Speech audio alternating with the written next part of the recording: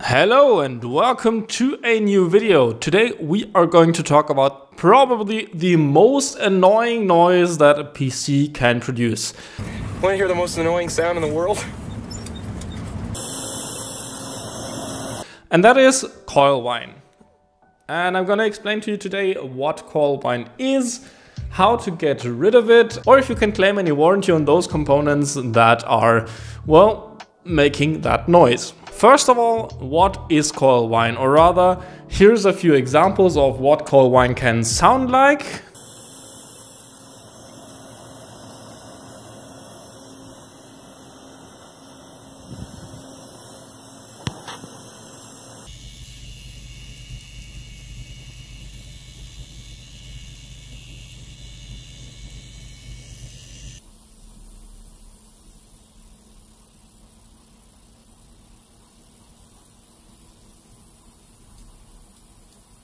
There can be lots of different noises that Coil Whine can produce. Mostly it is though the similar sound, although in a different frequency range depending on which component uh, is producing that Coil Whine or what amperage is uh, flowing through that component or some other different factors. The most popular devices to whine are motherboards, power supplies and graphics cards.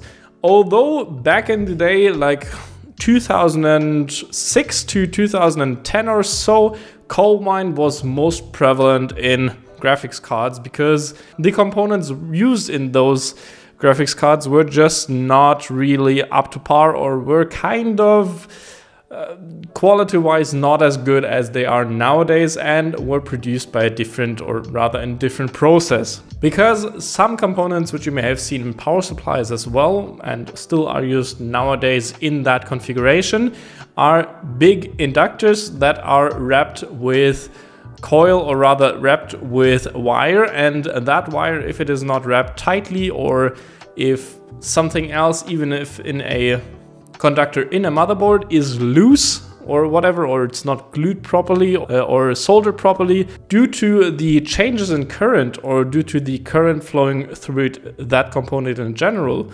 these coils or that wire can start to vibrate at a specific frequency. This is the case why when you have coil whine on a graphics card, for example, it whines at a different frequency based on what FPS values you have because it depends on the current that is drawn from the card or from the GPU and or how that current varies.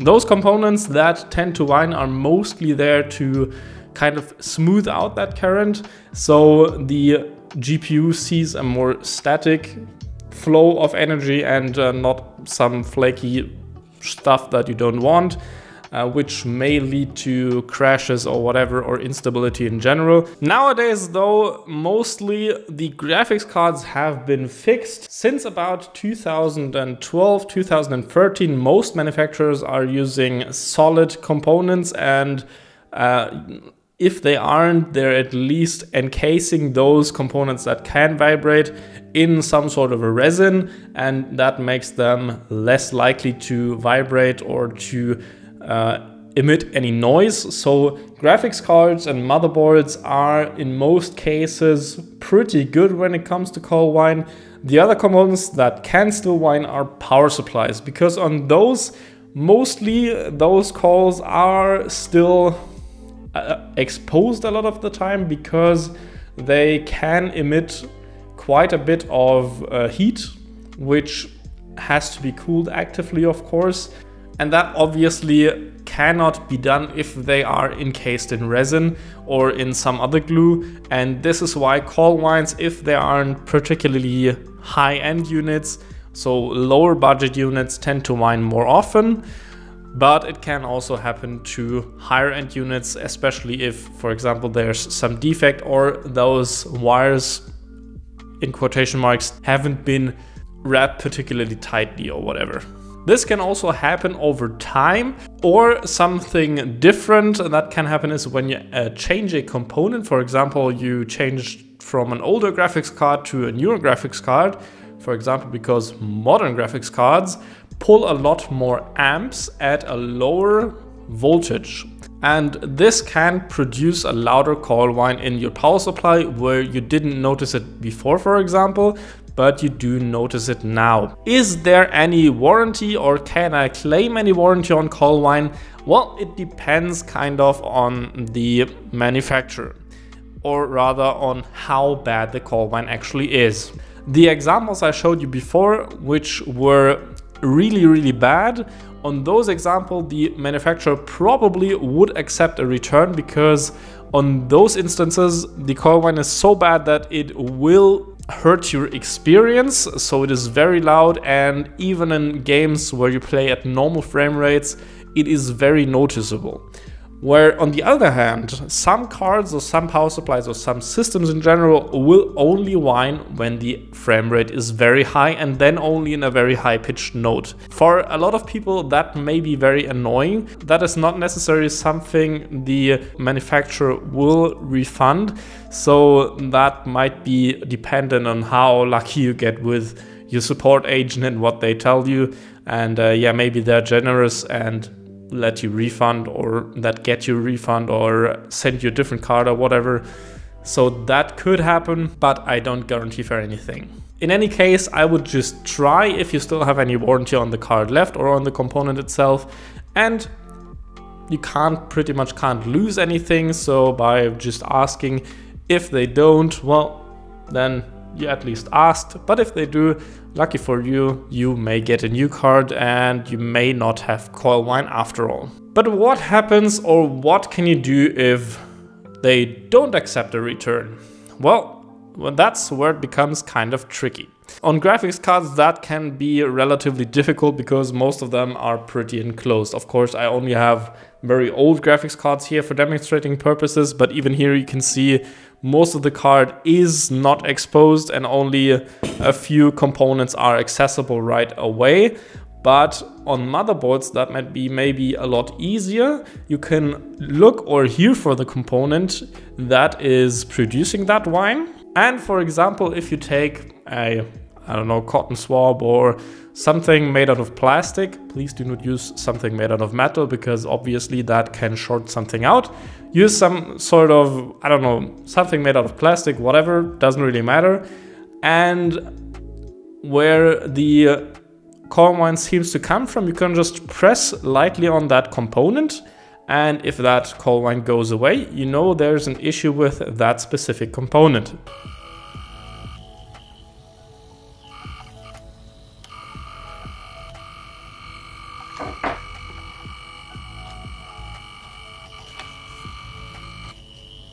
if you found that component, that's already half the way there because then it's pretty easy to do.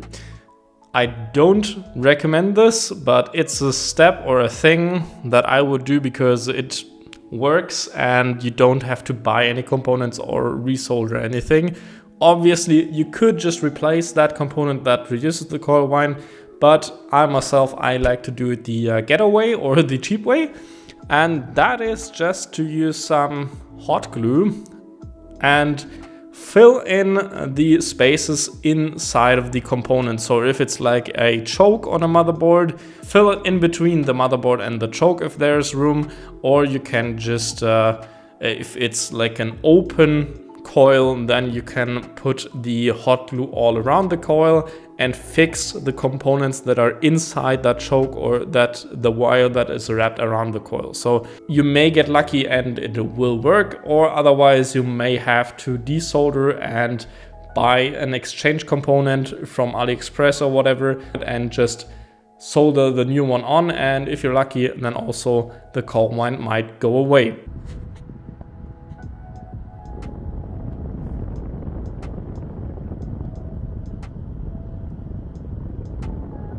Nichts. This can obviously also be done on power supplies, but opening up power supplies can be very dangerous and I would not recommend it only if you have a lot of experience and you know what you're doing, just to get that out of the way. Otherwise, you can pretty much do that with any component, also with graphics cards. If you have, for example, a cooler that lets you have a lot more space around the PCB and you can check each and every component. But also, as I said, be careful and do not damage anything. Don't press too hard on stuff, obviously. It should only take a bit of pressure to see if um, each and every component does vibrate or not. It's just to basically fix it to the PCB so that it doesn't vibrate independently from it.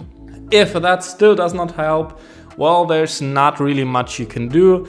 Um, if it is depending on the frame rate, for example, you can set a VSync up or a frame limiter so that it does not go over your refresh rate of the monitor, which is generally the best thing to do anyway, because you are also gonna save some power but that would be your only bet to do. You can also limit the voltage or rather undervolt that component that may also reduce the coil whine. Or on graphics cards, you can reduce the power limit also or the clock speed. Sometimes different things can result in different reductions in that noise, but you just have to try around if it works or if it does not.